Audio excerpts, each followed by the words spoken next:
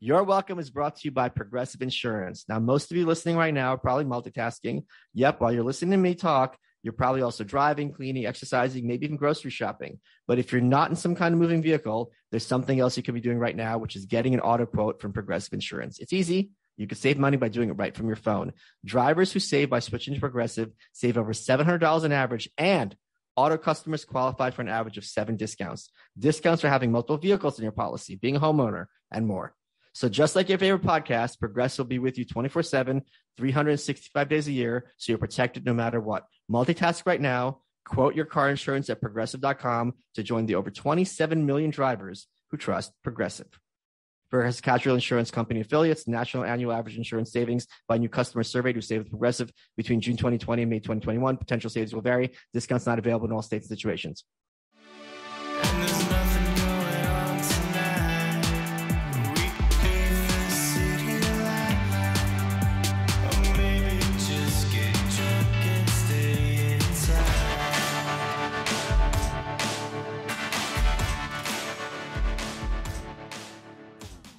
Good afternoon, Michael Malice here. Let that be your welcome for the next hour. We have with us, this is going to be a lot of fun. We have Seamus Coughlin. He is the head of FreedomToons, a very popular YouTube channel. I hope you guys all subscribe to it, where you make funny little animated shorts about various political personalities, and they all go wide.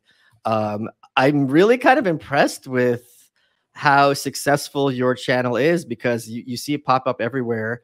Um, I had been under the impression that animation is something that is exorbitant. Obviously, it's gotten cheaper, you know, over the years. Like, is it as expensive as I think? What's your process? So fortunately, my animation it's it's trash. So you know, super cheap. Uh, I'm I'm being facetious, of course, and I can't make the kinds of self-deprecating jokes I used to about the art on FreedomToons because while it used to mostly be handled by myself and then myself with with uh, you know one or two people helping. We've grown to the point where i've been able to bring people on to focus a lot on the animation for me so i can kind of step away from that uh, from time to time when i need to. So i just want to say i think my animation team is phenomenal. They do great work. Animation is generally very expensive very time consuming and in some instances it's thankless because right now, particularly, YouTube is favoring long form content. That's sort of been the paradigm for, I oh. want to say, almost the past 10 years or so. Wait, can I and interrupt you? Because I thought sure. I've been told that you have to do these shorts and they want everyone to start doing shorts. That's is that inaccurate? So shorts are pretty big and they'll get a lot of visibility, but there was a shift right around the time. I think this was like right around the time that PewDiePie blew up, and he might have blown up as a result of this, but don't quote me on it. Uh, there were all sorts of people that they had to change the algorithm to favor long form content. And part of the reason for that was people would upload like a clickbait title and then people would click the video it would have nothing to do with the title. It could literally just be like a rickroll or something but they'd pull in all sorts of ad revenue because they got a lot of views. And so youtube said well we can't pay people for the amount of views they get. Here's how we're going to solve this problem. We're going to pay for the amount of minutes people okay. spend watching the video because of that, short form content gets snubbed right. because when you're doing animation in particular, you know, it can take a week, two weeks, even three weeks to do a two minute animated short. And then the most you could possibly get in terms of minutes watched is two minutes, right? Right. But if I do a 45 minute long stream that took me 45 minutes to make and it's engaging and entertaining enough for most of my audience to sit all the way through, I could make obviously multiples of what an animation channel could make with a slight fraction of the budget.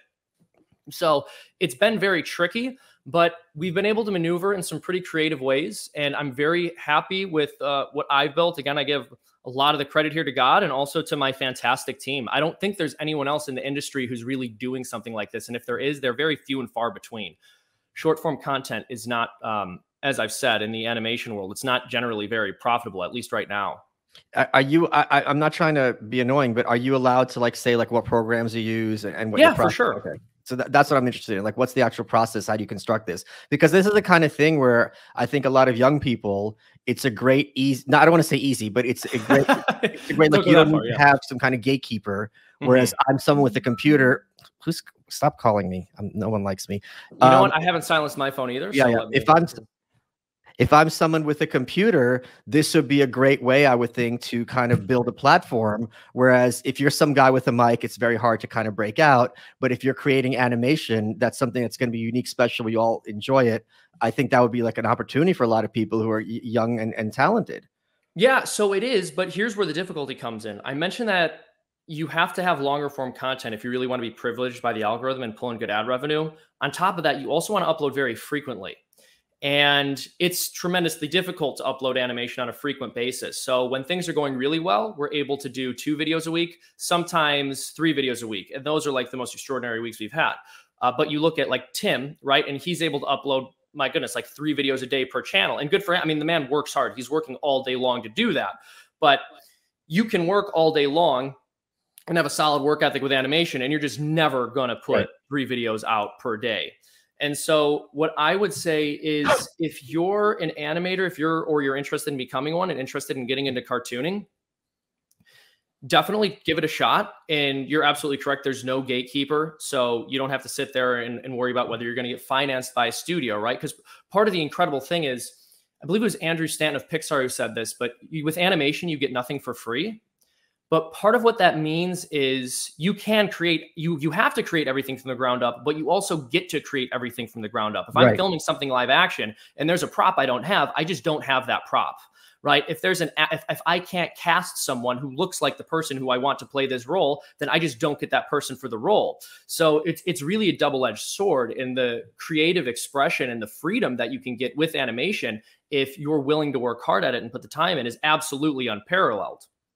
But I would say it is a team effort if you really want to upload things consistently. It's very much a team effort. So, what programs are you using to, to kind of create your work? Yeah, I'm sorry. I, am sorry for sidestepping that one. Uh, I, I, feel like I'm talking to a politician. This is like I'm. I'm sorry. I just like I want because I want young people who are interested in animation to like be inspired. And I want them to do it. I want them to try to get their start, but yeah, Adobe Animate would have been a simpler answer. Adobe Animate, Animate.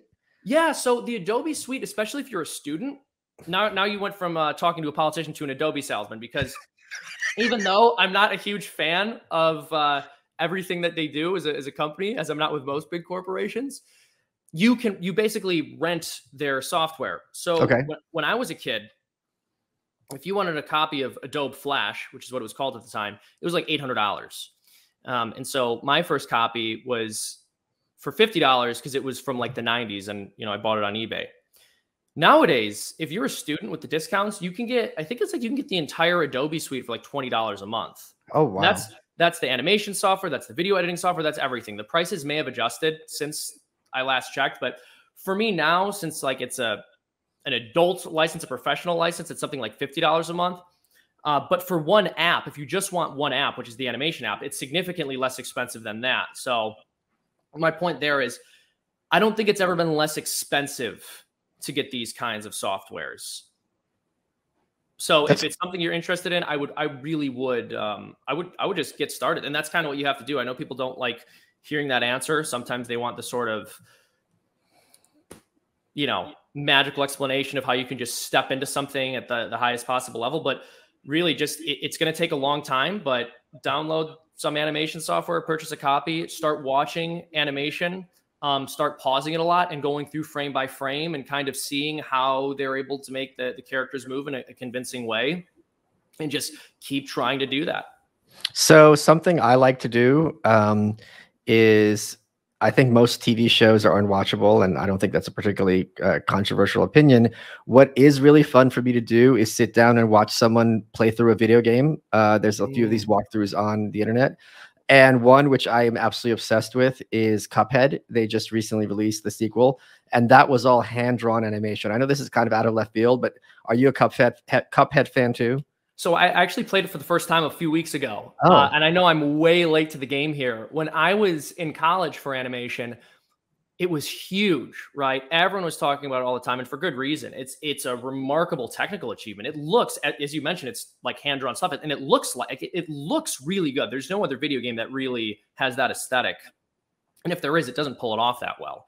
Um, and so I just yeah, I played it recently And I'm kind of glad I did because when people were first talking about Cuphead, I kept hearing it's this um it's this sort of like traditionally animated video game. And I was like, how is that possible? I was kind of trying to think through ways you could do that for like a very complex level. Um, it turns out it's basically all just boss fights, which again, yes. still still a technical challenge. But I remember, I, yeah, I, I, was like kind of rattling my mind every time it came out, like how they did it. That must that must have been tremendously difficult, and I'm sure it still was, but not as frightening as I had initially thought. But no, very fun game, very pleasing to look at. So I want to look at your uh, Twitter bio because oh, no. there's a couple of things that I want to talk to you about. The first thing on your Twitter bio is Catholic, mm-hmm. and the third thing, the third line is uh, former libertarian. Which of those do you want to talk about first? I guess Catholicism. Uh, they they sort of go hand in hand. Um, so let, let, us talk about this because I was just recently at the best man at a Catholic wedding for oh, the beautiful. very failed podcaster Tom Woods, and I had been at a Catholic wedding a couple of years mm. prior, and I had gone to yeshiva, which is Jewish school, mm-hmm. and we learned everything in Hebrew, and, and it was very traditional and all that. And one of the things I really appreciated about going to these weddings was that when you're hearing these ceremonies, you're hearing the same thing someone, you know, a thousand years ago heard in Rome or 500 years ago in some boondocks village in in England, and knowing that you're kind of sharing this verbatim experience with these people across the world and across time. And I think there's something extremely powerful with that. The same thing with learning things in Hebrew. It's like, okay, these mm-hmm. these words have been said for that literally thousands of years uh, in the same way and in the same uh, mechanism. And you know, I was very lucky because in high school I found two writers that really influenced me. Ayn Rand and Camille Paglia. And Paglia is like a hardcore leftist. She's but, fascinating. But she will not, she constantly talks about how much she loves the Catholic Church and the ritualism and, and the iconography and, and so on and so forth. And all my Catholic friends are, I, I think, disturbed is an understatement as what has become of the church. And for people who don't appreciate this, uh, in the 60s, they had something called Vatican II, which was the idea that we're going to make the Catholic Church hip and cool and modern which is something that's like saying we're going to make coca-cola healthy for you. It's not that's not the selling point of the catholic church. The point is this is a straight line from peter to whoever the current pope is. And what's even more just so we're instead of having the, the rites in latin it's going to be in english or in spanish to the point where they would not let my friend have his wedding service in latin and he said what if i bring in my own priest they said no you can't do it and that to me is just one of the ways how the church has recently changed. Where as an outsider, I'm like, this is really crazy to me. I want to hear your thoughts. Yeah, I appreciate that. So there's a lot to sort of dig into there with that. So I, I want to sort of distinguish between um, the reform of, of the mass and the sort of the creation of the Novus Ordo in Vatican II, because they are technically different things. Um, but when you look at like the documents of Vatican II, it says things like Gregorian chant must be given pride of place, all things being equal uh, in the liturgy. Of course, you go to most masses in the United States, and like Gregorian chant is not. I guess you know all things aren't equal. I'm not, you know, that that language. I don't know how to work through it theologically, and I have been kind of careful recently. I'm trying to get more well read on a number of these Catholic issues before I say anything like too outspoken about them because I just want to be extremely careful about not accidentally misrepresenting anything. But yeah, part of the idea of, of, Vatican II and part of what was stated, I think the original quote was, uh, I believe from John the 23rd, was we want to like open the windows and, and air the place out, something like that. And if you really want to talk to someone who knows a lot more about this than I do, Timothy Gordon is is great. But when it comes to the the Second Vatican Council, it was accompanied by a lot of Catholics saying things like, "My particular pet project is in the spirit of Vatican II." So this just became a phrase that everyone threw around to get whatever they wanted, uh, like liturgically or catechetically in their diocese, even if what they were asking for either had nothing to do with Vatican II or was explicitly contradicted by Vatican II. And so a lot of the damage that's been done has just been by individual liberal actors in the church saying, I want X, Y, and Z. and they're not necessarily being a stop put to that that's a that's that's a massive like oversimplification of the wider problem but yeah i do think it's very sad that your friend was not able to have a, a, tlm for their wedding because i attend the latin mass and i think it's so beautiful and like you I, I think there's something so incredible about being able to hear that ancient sacred language and that was one thing growing up that I always did admire the Jews for was the fact that many of them still taught their children Hebrew. I thought that that was so fascinating. Um, I think there's something wonderful about having a language set aside for God, you know, and, and speaking to Him in the language that you're not like cussing in and like saying vulgar and mundane things in. And for whatever reason, that's not a tradition that as much value has been placed on over the past 50 or 60 years, but it's seeing a resurgence, right? that that's part of what's so interesting is like th- there is a resurgence. A lot of whenever I go to the Latin Mass, it's almost all young people. And I'm not sure if you heard that about Shia LaBeouf converting to Catholicism. But I mean, uh, is, is, you really want him on your team? I mean, the guy's. we want. I, look, look. He's, he's, he's, he's, clearly, literally mentally ill. Do you think so? Did you not hear when he was calling the cop the N word? How long ago is this? a, a few years ago. They oh, 4chan broke him with that we, we will not divide us stuff. He, mm-hmm, he's mm-hmm. no, but if you look into him, I, I think the guy's legit uh, unwell. It's possible. It's possible. I don't know his individual circumstances. I guess the point I was trying to make with him is that he said part of what attracted him to the faith was the Latin Mass. That said, I want everyone on our team. You know, if, if everyone who wants to convert, we all have a past. Everyone's done messed up things, and I believe everyone. See, this is the difference between this is between us and you. You uh-huh. guys can have the crazies. We have enough crazies. we want we don't them. need them yeah. in our house. Yeah, we want them. We love yeah. them. Come here. More All power. Crazies, come here. You. I think there was. uh He's not exactly my favorite, but there was a, a great Oscar Wilde quote. He said something like, "Catholics are like either sinners or, or saints. If you want respectability, become Anglican." Um, Catholic people, we're, we're, we're just crazy in the best way, I think. Uh, well, you know, his lover, want, if, if, you feel a little different or outside the box, like you are more than welcome.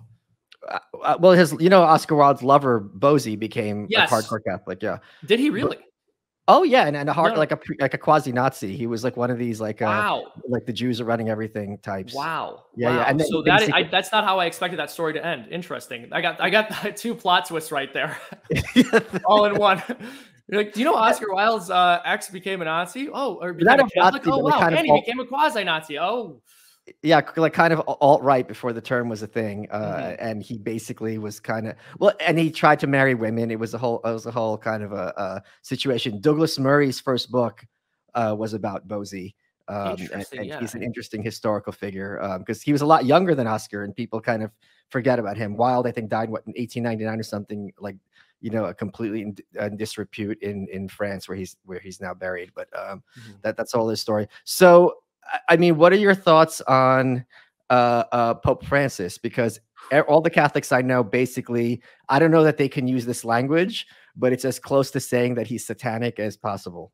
Yeah, it's there's some complexity with him. When it comes to Pope Francis, I generally don't give an opinion on him unless I'm asked, which you have asked. So I'm more than happy to. But on the one hand, the media does, to be fair, take him out of context and misrepresent him on certain things. So, one of my favorite examples is from the beginning of his papacy. He said something like he didn't personally believe that hell was a physical location. He thought that it was just a state of the soul being eternally separated from God. And it's true that as Catholics, we believe hell is eternal separation from God. And he was opining on whether it's like also a physical location or whether it's just a state of the soul. So what he said, this was the Pope speaking, but he's not speaking ex cathedra. You know, he's not declaring anything. He's giving his own personal opinion. The media not only runs with it as if he's changing church teaching, but they say Pope Francis says there is no hell or Catholic Church does away with teaching in hell, which is completely ridiculous, completely not true. And so you have to be careful. On the other hand, he has said some things that I've, I've found to be troubling and he's not my favorite pope. Uh, I want to be charitable here. There's definitely a number of things he's done which I don't uh, consider to be good. But as Catholics, part of what we understand is that like not every pope is going to be good. Uh, you you can have a, a bad pope, and there have been some pretty bad popes throughout history, because Well, the Pope, in certain instances, you know, he has his authority as the Pope, and when he speaks ex cathedra, um, he does speak infallibly. It's not as if having a bad Pope who does bad things means he's not the Pope, or that like he doesn't have that you know particular power. He's not Christ's vicar, etc. But I, my understanding, and, and please correct me if I'm wrong, is that uh, Pope Francis tends to be a little coy. That a lot of times when he's saying his own personal opinion, he's doing that tap dance as if he's speaking ex cathedra and giving people that impression. On, and, and he knows exactly what he's doing in, in terms of moving the needle. I don't know. So that, that's a difficult one. I can't speak to his motivations. I think it's probably the case that the media is thinking that way when they're asking him these questions. I mean, consider how old the man is, right? Uh, the world of, of social media and mass media and everyone kind of knowing what the Pope is up to is a very new thing. Like in medieval times, you probably didn't even know who your Pope was, right? Like your priest did, but you probably did not know who the Pope was if you were the average person. I think one issue is that modern popes don't have as much of a concept of how many eyes are on them as opposed to how many eyes used to be on them. So maybe they could make a private statement of opinion to somebody without there being the same fear that's going to be propagated to the masses as this is now what the Catholic Church teaches. I, I find it hard to believe that someone as savvy as him, because you have to be somewhat crafty to become the Pope, mm. is this naive. I, I mean, and and, and I, am I'm I'm just this is my opinion. I'm not no, speaking sure. ex cathedra. Um, just to be clear, um, I think he's shown himself to be a, a shrewd uh, figure. Uh, mm-hmm. you know, he obviously got you know into uh, the, the papacy, and I, I think I can understand the kind of thing where if this happens once and it blows up, then he, there's there's no question he's a bright man. That that's not on the mm-hmm. table, right? That he's not an intelligent that he's not an intelligent man. Mm-hmm. I don't care how old you are. When you're in a position that's that important, and if something if you make a misstep and it blows up, I can give you one or two passes. After yeah. a while, you know what's happening. I understand that. Well, I think he himself has also referred to himself as imprudent. So he there's some understanding here. I get what you're saying that no, there should be some more care taken with with the things that he says. I also want to mention this, and this is not me like engaging in like Pope Francis apologetics. I think people can probably infer what my opinion is on him, but the media does have this tendency to ignore the things he says, which are good and true and uphold Catholic teaching. So, for example, like he's called abortion doctors hitmen. Uh, he's referred to modern gender theory as demonic. I think you know you consider the fact that he's a human. He's from Argentina it makes sense that he would have some of the political leanings that he has. I'm not a fan of a number of the things he said and done, but I'm, I'm not sure what else. Wait, wait, wait, wait, there, there's, can I, can I mention this? this? Oh yeah, sure, sure. You're bad at this. By that logic, Pope John Paul II should have been a communist, right? Because he's from. Oh, no, no, no. Listen, listen, listen. I am, I am not at all excusing what uh, Pope Francis has said or done, or, or the things that that I would say are problematic. I'm just saying I know there are people who will have like certain kind of conspiracy theories about like his role as an infiltrator, and I'm saying I just think oh, like, oh, oh where no, he no, is, yeah, yeah, I'm just saying like given where he's from in the world and what his life has been like, it makes sense that he would be where he is politically. Not that I disagree with his views or would excuse some of the things he's done, which I find to be distasteful. Okay, so I'm I'm sorry, I didn't I didn't mean to say that dismissively. I mean I understand what you're saying. No, no, no, I appreciate that. Hey guys, Michael Malice here. We have a new sponsor with amazing extreme altitude wines from the Bonner Private Wine Partnership. I just put out a bottle of their 9,000 foot Malbec the other evening at a dinner party I had, and everyone seemed to like it. It's grilling season, and the flavors go great with any meat you're going to have. They're unlike any wine you've ever tasted blackberry, leather, smoke, and a little dark cherry. These wines are almost impossible to get on your own because the producers deep in the Andes Mountains make limited quantity. The best part? They've cut out the middleman. No large markup. Today, I have an amazing introductory offer. If you visit bonnerprivatewines.com slash Michael, you'll not only get wine for 50% off plus free shipping, you'll also get a bonus bottle of small batch, limited production wine from their exclusive wine cellar. Four bottles for the price of three. It's a deal that's hard to turn down if you're a wine lover like some of you out there. Just visit Bonner, B-O-N-N-E-R, bonnerprivatewines.com slash Michael to claim your bonus bottle and become a part of America's most unique wine club. You guys ever feel like you're being followed around the internet? Maybe advertisers know a bit too much about you. So our sponsor, IPVanish VPN, is here to help you take back your privacy and help you become anonymous on the internet. IPVanish is a virtual private network, a VPN for short, which is an important tool that helps you safely browse the internet. You can use a VPN on your computer, tablet, phone, whatever it is when you're streaming media. When you use a VPN, all your data is encrypted. What you're watching, what you're searching, what you're reading. I know what you guys are doing, whatever it is that you're doing. That's important because what you're doing on the internet is no one's business but your own. For a listener of the show, IPVanish is offering 65% off their annual plan, only 375 a month, super easy to use. Turn on with one click, it runs in the background, helps to protect you while you're browsing the web. Go to ipvanish.com slash malice and use promo code malice. That's M-A-L-I-C-E to get your 65% off savings. Their annual plan is just $44.99 for the first year with our discount. This is the time to sign up because with our discount and their current promotion, you can get a VPN for 65% off the usual offering. Here's the thing IPVanish is the best of the best. 4.7 out of 5 on Trustpilot with over 6,000 reviews. Remember, it's ipvanish.com slash malice to get the deal and start protecting yourself online. Let's get back to the show. Um, I want. So, why did you feel the need, and how did you come to have a former libertarian as your bio? Yeah, that's a good question. So, we don't have good questions I, here. They're all terrible. Well, then let me be more honest. let me be. I'm also. I'm speaking from a chair, though not necessarily ex cathedra. Um, I think part of the, the the reason was I became. Wait, I got to ask Seamus, why does your house look like the exact opposite of an Airbnb? what is what is the opposite of an Airbnb? Like someone lives here all the time. Like there's this the air of despair. There's that kind of ceiling fan. Because I'm a cartoonist, Michael. Like where do, where did you expect me to live? Something with color. No, well, we actually just just painted the walls white recently.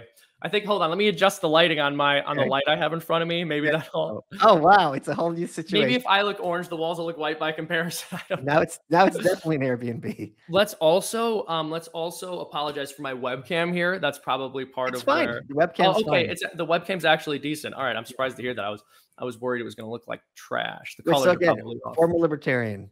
Former libertarian. So libertarian is a word that's just thrown around in so many different ways. And it kind of aggravates me when people try to use a, a, political label in a way that they know isn't fully sincere and isn't sure. what a lot of people are hearing sure. when they use the term. And so I've always known that like like if, if I didn't fully consider myself on board as a libertarian in the way that it's conventionally understood, I would not fall back on this like, well, I do technically want small government, et cetera, et cetera. Like I would just not be a libertarian because again, I hate when people torture language. And so as I began to learn more about my my Catholic faith, as I began to understand church Wait, is, that, is that something you came to later in life? Mm-hmm. So yeah, I, I, was raised Catholic, and throughout my teens, I think it tells all this time, right? But throughout my teens, I very much didn't take my faith seriously, uh, or as seriously as I should. Right after I turned 20, I just had an experience that I, I don't talk about much, but it basically triggered a reversion and I came back to my faith and started taking it more seriously. I started uh, practicing it as if my soul actually depended on it and not as if this was just something that was part of my identity or that I was taught to believe. And a few years after that, when I was 24, 23 or 24, I started attending the Latin Mass regularly.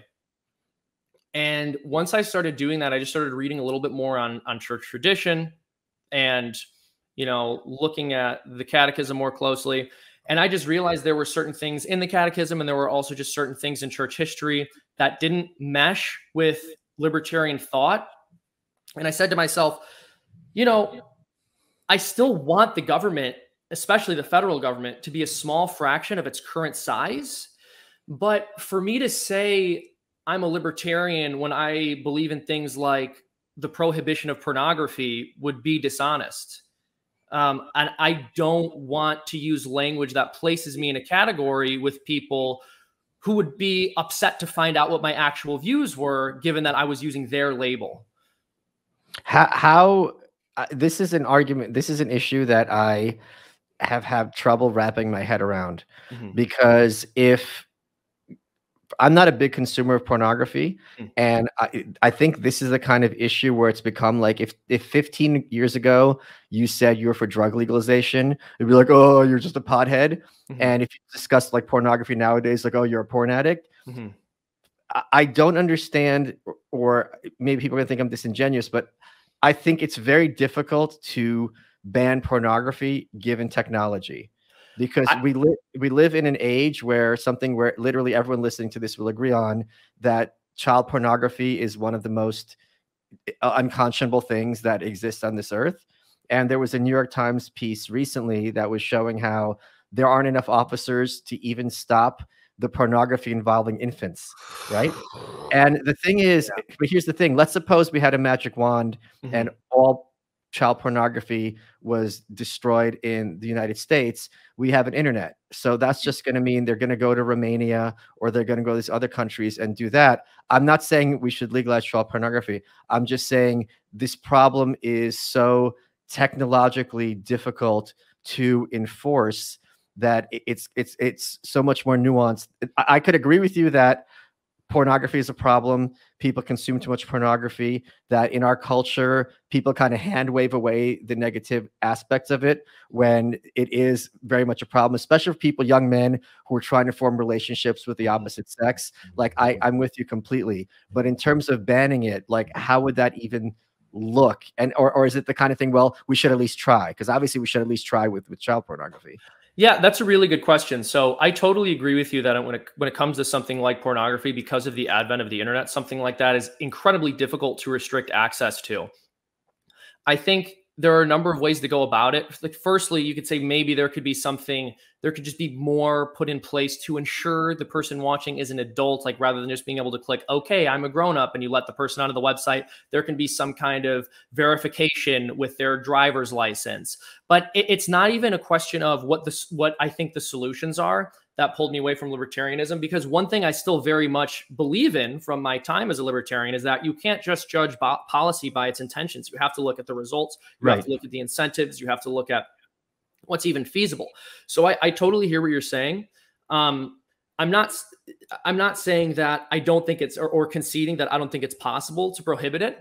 But my point is whether it is or not, I don't believe there's such a thing as a right to consume pornography. So I think, regardless of whether I believe it can be made illegal, that would put me outside of the libertarian um, confines, right? Because I think if someone were to say, like, I'm I'm a libertarian because I think it's too difficult to ban porn, but I would rather porn be illegal. Other libertarians would say, well, you're not really libertarian because that doesn't line up with our values on unrestricted trade or something along those lines.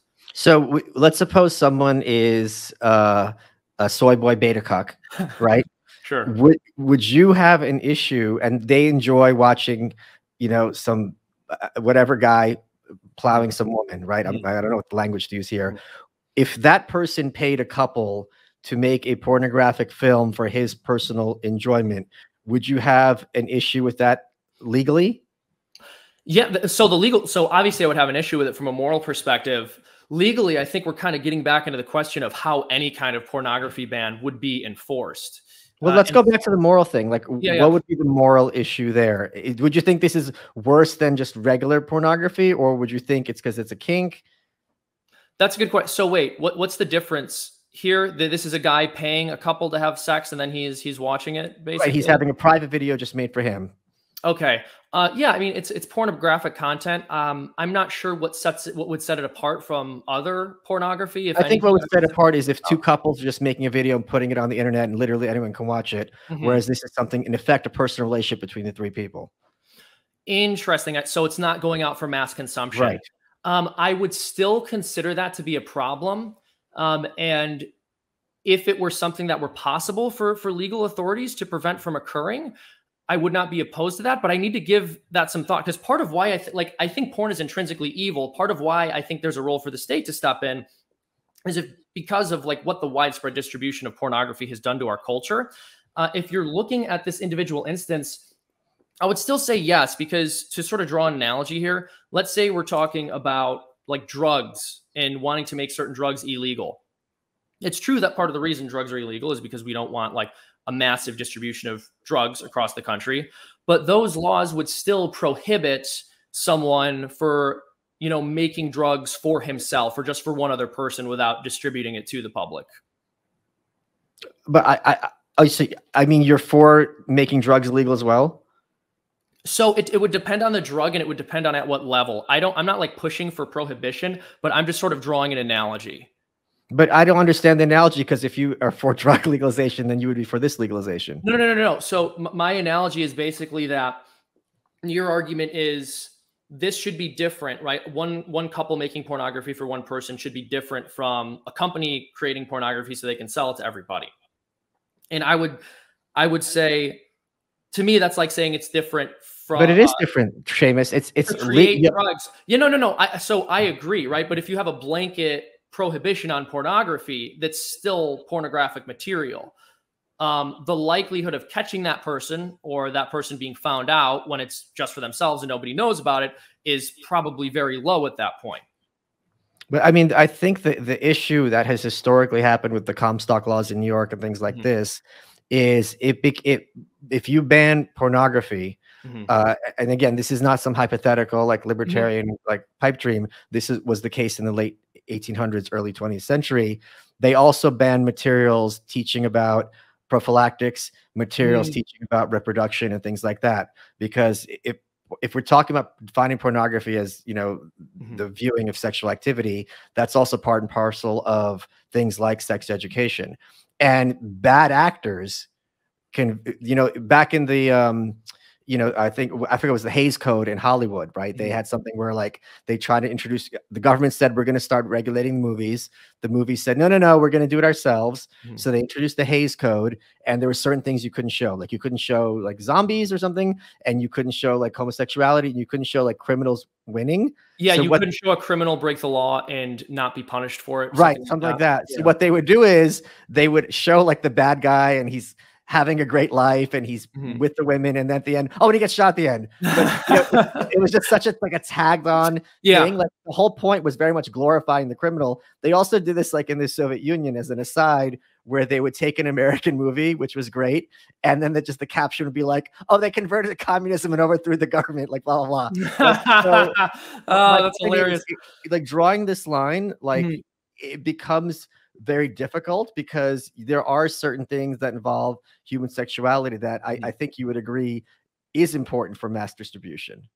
Yeah. So, uh, look, I totally agree. And I mentioned earlier in the conversation that it can be very complicated to draft public policy around anything, and particularly something like pornography. Uh, obviously, I, if pornography were to be banned, I would not want you know the distribution of, of any and all material that features genitalia to be banned. And so you have to create you have to carefully craft your definitions. That's really important. And so i think on the one hand it's easy to say well like this is a common sense argument. Um, I know the difference between pornographic material and educational material, but of course, at the at this point, there are so many different fetishes, and there are so many. Hold different... on, I can interrupt you because common sense arguments do not apply when it comes to the law. Well, and that is exactly so. That's my point. That's that's yeah. the point I'm making. Is it's easy to fall back on a common sense argument and say, well, I know the difference between porn and educational content, but we do need to draft uh, and, and, people do need to come to very clear terms on how they would define what pornographic material is. I completely agree on that. But, it's, it's not something that can just be, you can't just write a law that says no more porn, you snap your fingers and it's all gone. But, but it also goes the other way. For example, you and I might, for example, agree mm-hmm. that, okay, I can imagine a scenario. I, I, this is not my position, but let's, for the mm-hmm. sake of argument, say I am for the case of torturing someone who is a member of a terrorist group, which mm-hmm. has involved the, the, murder of you know thousands of Americans. Like that, I'll mm-hmm. make that exception. And then all it will take is one Congress to say, well, the NRA is a terrorist group. Yeah. Uh, because politicians don't work in good faith, both mm-hmm. in directions you would like and directions you wouldn't like. So mm-hmm. very quickly, all it would take would be one, one blue state, and mm-hmm. they would be like, oh, well, this is just you know educational uh, because I learned something from it. So I, I am not I, am not arguing with you. I'm just saying a lot of people. It's just like the kind of the gun control people. Yeah, they're they're imagining the end goal, but they're not kind of thinking through the steps to get there, and it's infinitely more complicated than people realize. And I think the best short term thing, and I, I think I suspect you'd agree, is to talk about the dangers of the, the, the pros and cons, and especially the cons, and have it be more like positive alternatives. Mm-hmm. So, so my point was more or less not to say that there's like a specifically specific legal course of action that can be taken to to ban pornography uh, or that it could be banned at the federal level or anything like that. My point is just to say that in principle, I am not against a ban of, of pornography, uh, and so I think that would set me apart from libertarians. That was sort of my my greater point with it, not necessarily to say I think this is how we could implement something like that. Are there any other issues where you find yourself uh, diverging from libertarian thought? There are a couple. So there there are some that like aren't necessarily like libertarian, but libertarians are constantly calling you a fake libertarian for your position on it, and people will like sort of lump you in with a specific position if you call yourself libertarian. So like on uh, the question of like homosexual unions, whether you believe in gay marriage as a concept, that's something that's like libertarians generally accept that I don't. And I noticed one thing the libertarian movement did. There was a lot of libertarians would say things like they think the federal government should just be out of the question altogether.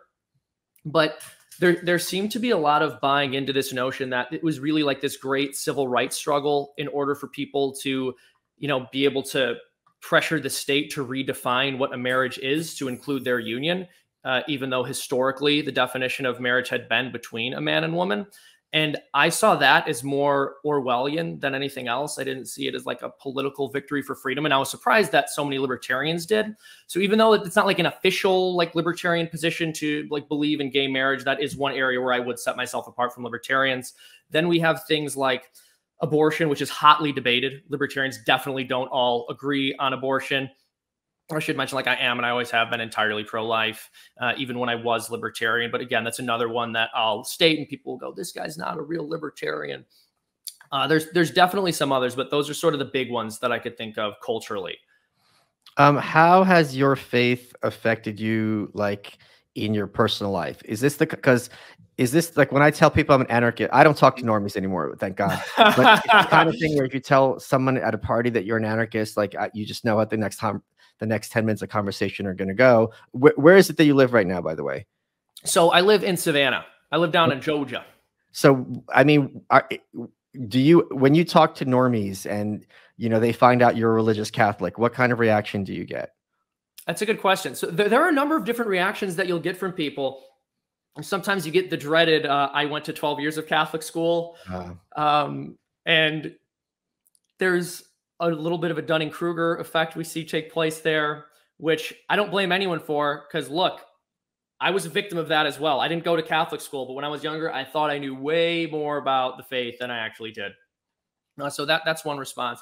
Uh, another response is people will get abrasive, and honestly, it depends a lot on which hot button issue is in the news.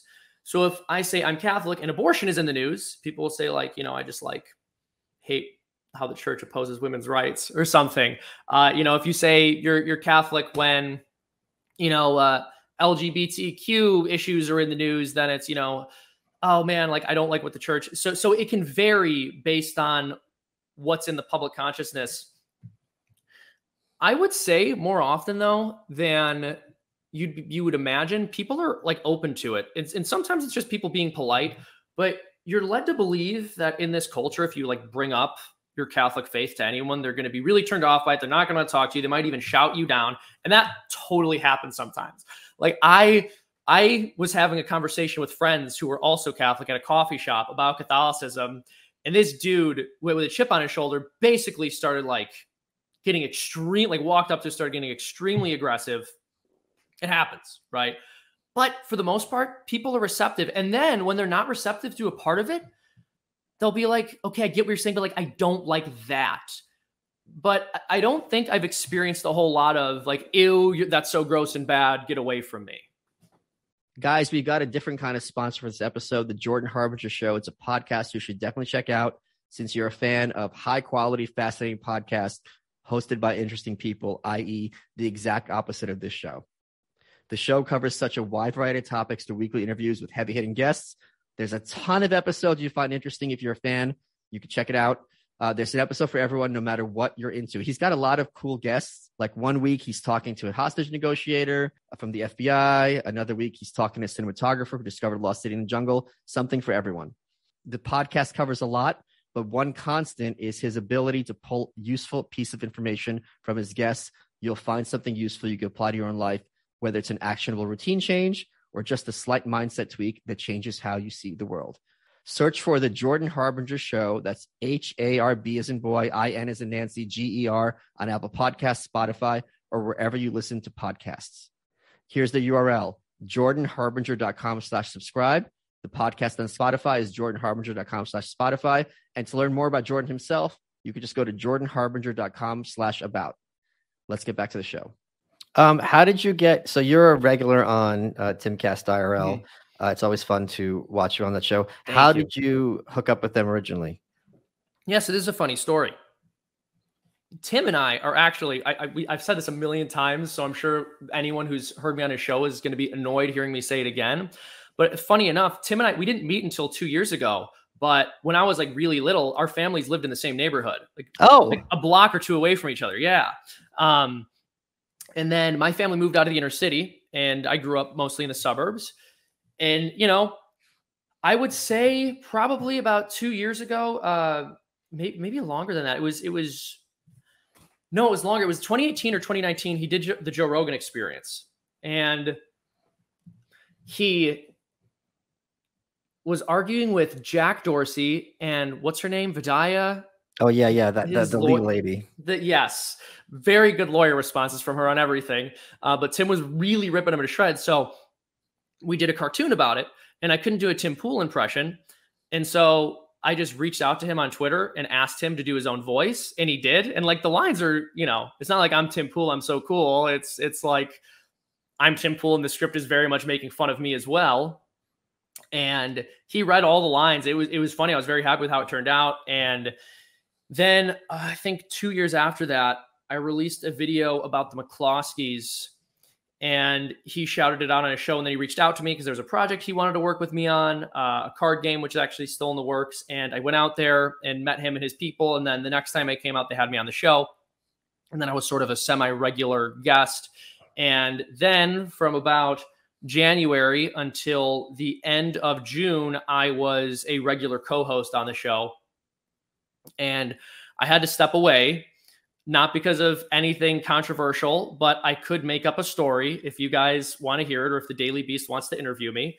Uh, but it was it was more or less just that while I was on Tim's show, I was still running FreedomToons, right? Yep. So that's a that's a full time job, and it's FreedomToons. Plus, we work at the Foundation for Economic Education. I have some other clients, and so I was kind of running the business. And then every night from like seven to eleven, uh, I was doing Timcast. And it got to the point where it's like, all right, I just have to step back for a little bit and try to focus a little more on the business before I I go back and do more podcasting with him. But it's been a wonderful opportunity. I love doing his show, and whenever we're together, he and I are like constantly brainstorming ideas for like funny jokes or, or different projects. So it's been fantastic. It, really has it, been great. It was really funny because I spoke at FEE, uh, their summer seminar. I this must have been 20 um 15, 2014, I don't remember. Mm.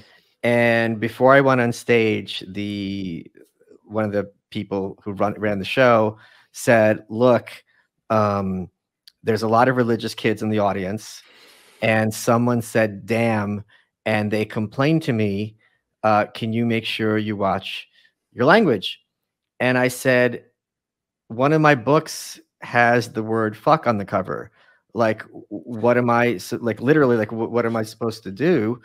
And then he's like, "Oh," and I go, "I mean, it's fine. I won't curse."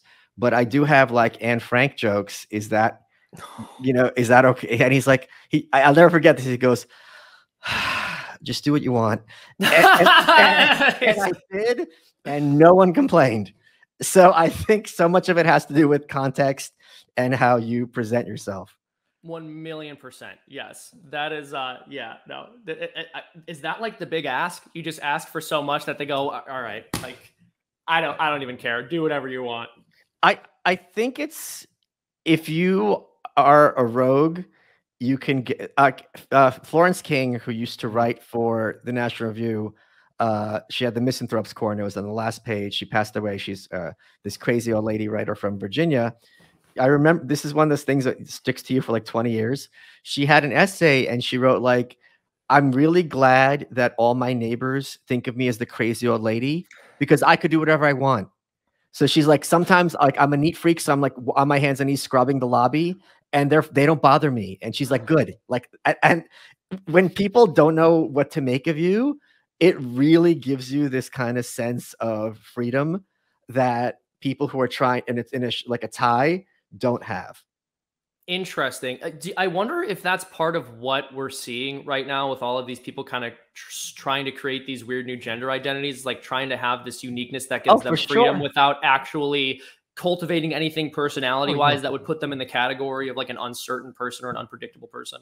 Right. Because if you are eh, using pronouns no one's ever heard of before, I'm almost like an immigrant talking to you. I'm not comfortable with the language and I'm yeah. on my back foot and I'm already in a subordinate position to you automatically. It's a whether by design or or otherwise, it's a very clever move to achieve a, a mode of dominance over pretty much everybody else. Mm-hmm. Um, and, and, and not always a it's and sometimes a disingenuous one, obviously. Mm-hmm. Well, now I would also add too that part of where it falls apart. I wonder if this is if it really is their motivation to kind of not be placed in a category like that. Because on the other hand, their responses to everything are very predictable, right? If you know somebody has these specific pronouns, you can kind of guess where they are with a pretty high degree of certainty on most political issues. Uh, you know how they're going to respond to you if you use certain language around them. Uh, yeah. Um, so they, you, they, they still they get to fall very neatly in line with a group, and actually a very large and very powerful group, while still being a unique outsider in their own estimation. Uh, have you were you ever on Tim when you guys got swatted? Yeah, number of times. Tell, yeah. me what that's like because uh, like just emotionally because to me, uh, you know, maybe it's because of being born in the Soviet Union, it's the kind of thing where I, I think I'd be rattled for quite some time. So a number of the times where I was there, we got swatted, uh, had bomb threats, that kind of thing. It was just, I would just pray through the whole thing. Um, like I remember one time, the bomb squad, like I pulled up to the house to do the podcast, and like the bomb squad was basically outside. There's a package that no one was going near, and the bomb squad was coming, and so I just like went back to my car, grabbed my you know rosary, and was praying, and we went up and, and did the show. There, there was another time where I think it was before a show maybe it was during a show. It was during a show, but I wasn't on that episode, I think. Uh, and there was, you know, a bomb threat, so we had to leave in the middle of it. Honestly, it's uh it's one of these things that you you want to take seriously. And in part, it's like, well, nothing has ever happened, but on the other hand, that is a way people can try to get your guard down. And then something actually does happen once yeah. you think nothing will, because it didn't the first 15 or 20 or 30 times. So it's definitely something I take seriously. I just, I would just kind of pray my way through it when it was uh, happening, uh, offer it up. And I'm just grateful that no one I care about has been hurt. So it's not like the, the cops came in pointing guns at anyone. No. Uh, so, okay. well, I was not there every single time they were swatted, so I can't tell every story. I think I was there probably like five or six of the times. Holy crap! Um, I I know that when the cops have come in. I think I think the cops like walked up to somebody the first time it happened.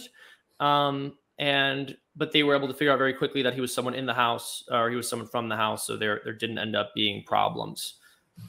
What has been your most successful video, and have you figured out a way? Because the thing that's very frustrating for all creators is like you like I remember when I was writing for the Observer many years ago, and like one article went wide, another one didn't, and you thought this was the one. You know, it's hard to predict. Yes. And the editor is like, yeah, no one knows. Like we, yeah. we I, I like we have no idea which why, why something. So do you have any kind of system like maybe looking at things how you've changed over time? What makes one video go wider than another, or mistakes that you had made earlier that would have kind of capped the limit when it could have gone higher? That's really, I mean, yeah, that's something I I think every creator thinks about from time to time. There have been a number of instances where I was working on a video and I thought, right, this one's like, this one's gonna go viral. You know what I mean? Like, come on, this one, it's got all the right pieces. It's funny. Can you, it's can name which one of those ones? Well, like, can you name one that didn't go viral? Every single one I've ever made has. no, um, they should call it failure tunes. I know. Honestly, they really should. Failed cartoonist Seamus Coughlin can't make anything that goes viral. Uh, in terms of I can pull up the channel real quick and just go through the last couple videos. It's it's it is one of these things where nobody really knows because in part um it's like in part it's about excuse me what time of the year it is, oddly enough. So you right. can have an issue that's huge and that everyone's paying attention to, but like, well, it's January or it's August. And so people aren't really paying that close of attention to YouTube. I think there were a number like the one I did one the, the in terms of the most views I've ever gotten on a video, I believe that's um fighting Nazis. Let me let me see though. Let me look by a sort by popular. All right. Yeah, so fighting Nazis then versus now is my most viewed video. And you know, just by virtue of the fact that the stuff that went viral earlier on collects more views over time, most of the yep. stuff all the way at the top are older. Um, not all of them, a number of them are pretty recent, but like the top three are all pretty old. Uh, and then one like top four, five, six, seven are actually really recent. But I'm not sure if you feel this way, like reading you, I, I think everyone does, but I'm not sure if you feel this way reading your old uh, writing or looking at old podcasts, but like it's kind of hard to look at things that you did a while ago. At least for me, uh, I, I find a lot of difficulty in it because when it comes to like the art of animation and creating something that's really good and quick, quick and snappy and gets the point across, I've grown tremendously since I've started doing this. And my old stuff was so much wordier, like so much wordier. And so I'll go back and I'll watch these videos and I'm like, oh, I like, why did people like these? I'm glad they did. I'm so glad. I'm like, I'm happy with them. And that's really just me being like skating towards myself. But it can sometimes be hard to like watch some of the older videos I've done just because like now my I have all these rules in my head about like the maximum number of words you want like per line almost. I don't I don't get quite that anal, but I really try to keep them short and punchy. And I look at some old ones that are much longer, and I don't I don't have a problem with like a long cartoon. It's it's okay to have like a 5-minute cartoon as long as a character doesn't spend 2 minutes straight talking sure, before, you know what I mean? And so it's not that I'm against long stuff. It's just that I'm against like very long sentences, not for myself clearly, but for my characters. Uh, and so, yeah, when I watch old stuff, it could be a little, it can be a little jarring because I'm like, why did I ever think it was okay to write a line that was like that long or that explicit? That's interesting. I have the opposite experience when when I read old books that I've written, mm. I'm like, I'm I'm waiting to cringe because the thing is when you're writing a book, you're going through four drafts and the editor has a draft and the copy editor has a draft and legal has a draft and then you have the galleys and then you have the the you know so you read it like 12 times right mm. and you remember all the mistakes but mm. none of the mistakes are in the book the mistakes are you know all those manuscripts and you're and all the drafts and you're kind of pulling them out so whenever i read old stuff of mine i'm like first of all i don't remember it there's this kind of like mm. dungeon dragons yes. thing I get that too. Yeah, there's this Dungeon Dragons thing where like how it works is like if some if a wizard or magic user, I think they call wizards now, casts the magic missile spell, like the analogy is that it's gone from his brain, he has to read it all over again. So when I write a book, I don't remember it. So if I'm reading it, it's as if it's someone else wrote it for the most part, and I'm like, this is surprisingly good. This and I'm like, I had a friend who I was talking to her and, and she rattled off a quote and and I'm, I'm like, oh my god, that's great. Tweet that so I can retweet and give you credit. She goes, it's from your book, but I had no recollection from. So, but it's interesting. Like maybe it's a different process where I'm editing it like over a year. You've got like two weeks. Yes, so it's going to be a yeah. Um very different approach. Yeah, exactly. So these videos are take a couple. I mean, Animation takes a very long time. When people hear we get these videos done in a couple days, oftentimes animators are usually shocked, like, "Oh my goodness, that's incredible." Um, people are kind of shocked at how long that sounds. They're like, "What? How could it take that long to make a minute short or two minutes short?" And you're like, "You have no idea." But yeah, with animation, there really is an economy of words that has to be considered because a, the longer it gets, you know, the longer it's going to take you to make. But b, people don't like watch cartoons because they just want to see characters going back and forth and back and forth. They want, you know, sometimes that can work for certain cartoons if you have like a, a good script with good dry humor, but you kind of you want more action.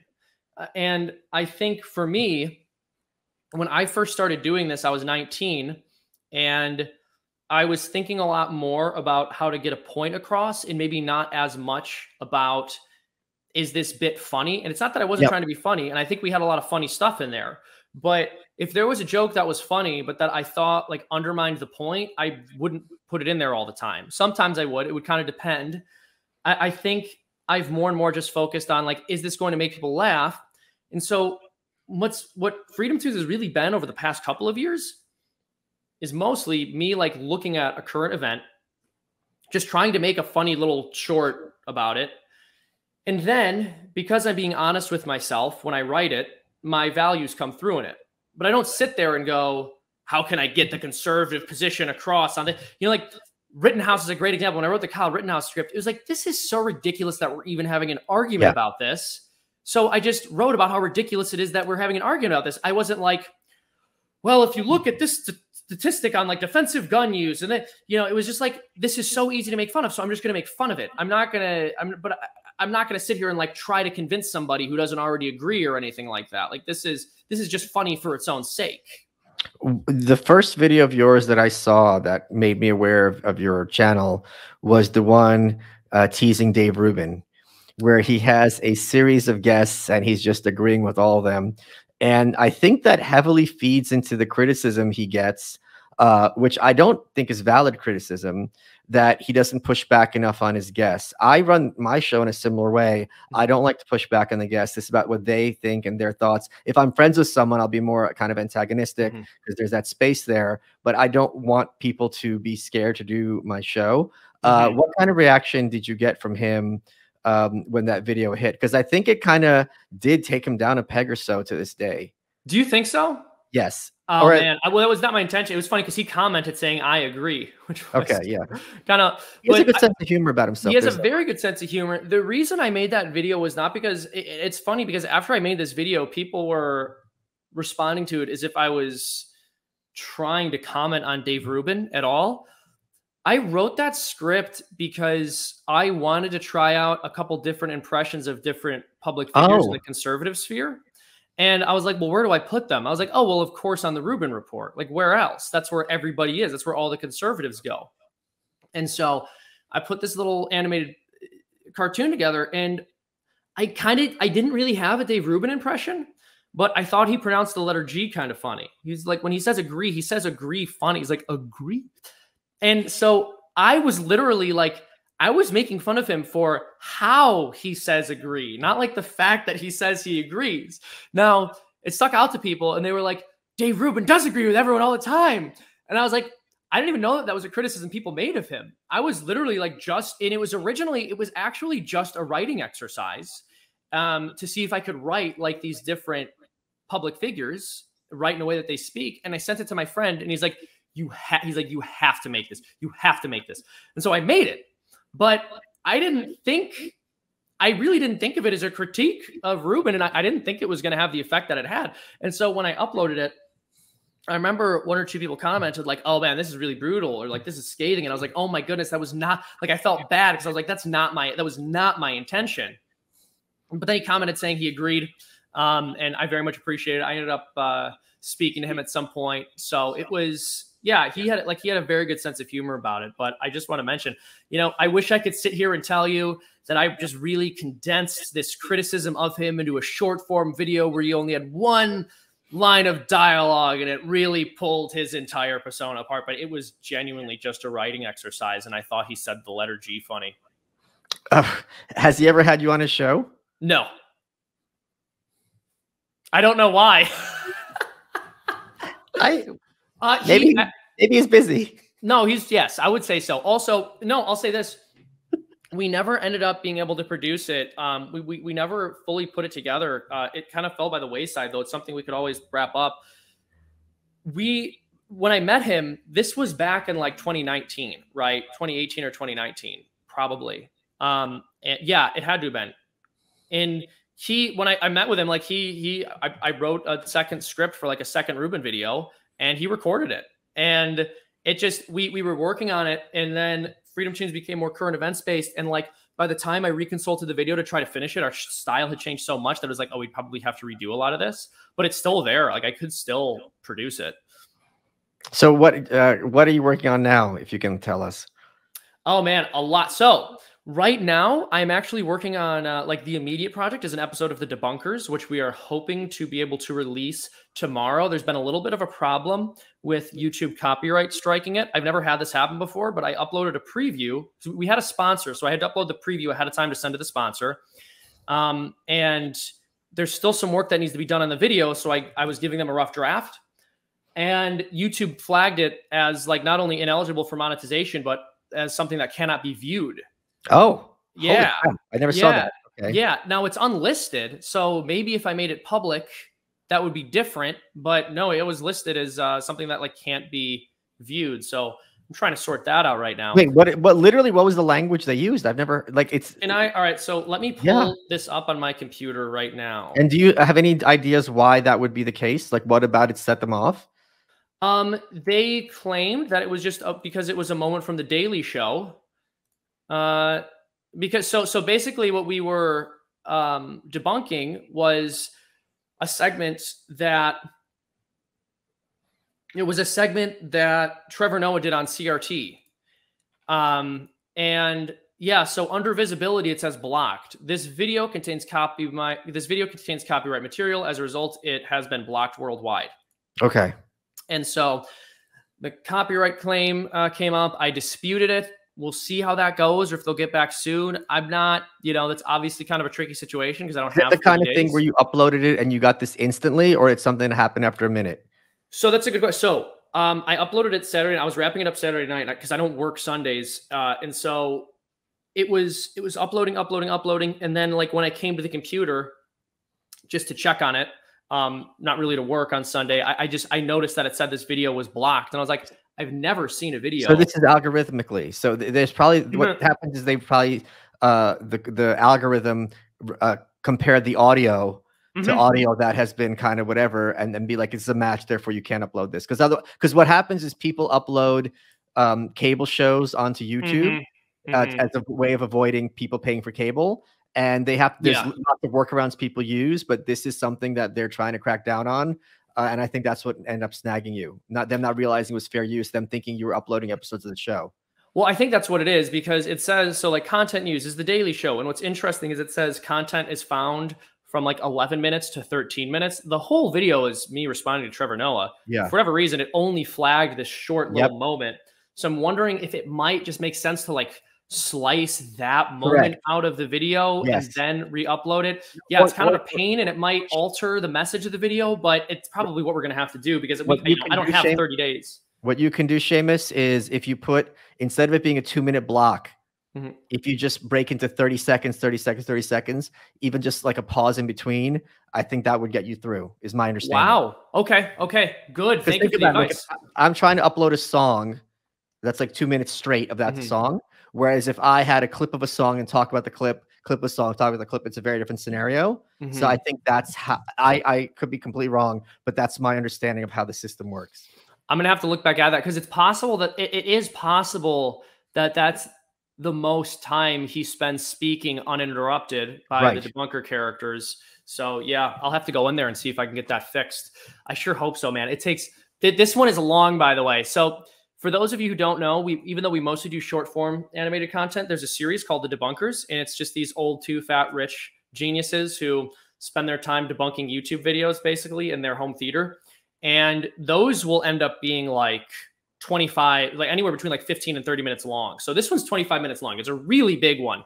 Uh, so if you guys like the debunkers, you're really going to appreciate this, I think. And I'm excited for it because I think we have a lot of good uh, arguments in it, um, and y'all will enjoy it.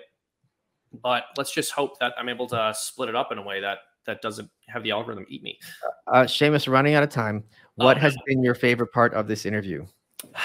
when you wouldn't get off my back about illegalizing pornography. No, honestly, I think my favorite. I'm giving you a hard time. I think my no, favorite. Just, I just made a face at the word illegalizing. illegalizing. Yeah, I know that's also a very weird word. What banning, prohibiting.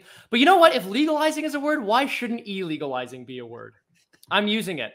Let's uh you know what? Actually, I'm going to Google this. you are welcome.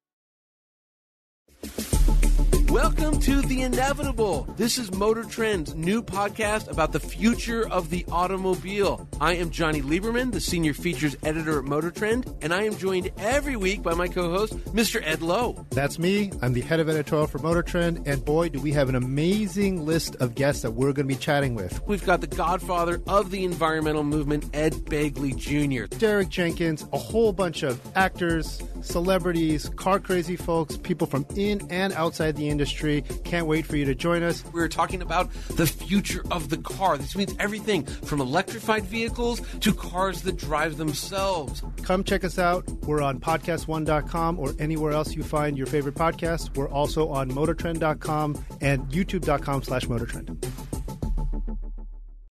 Saddle up and get ready for Westerns Weeks on Pluto TV, all for free. We're coming in blazing with favorites like True Grit and Once Upon a Time in Mexico. Or immerse yourself in binge worthy series like Yellowstone and Walker, Texas Ranger. Plus, Pluto TV has hundreds of channels with thousands more movies, TV shows, and more. The best part? It's free. No credit card, no sign up, no fees. Download the Pluto TV app on all your favorite devices and start streaming now.